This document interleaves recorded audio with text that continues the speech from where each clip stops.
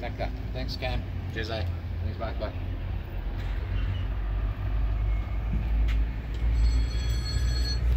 Morning, Greg.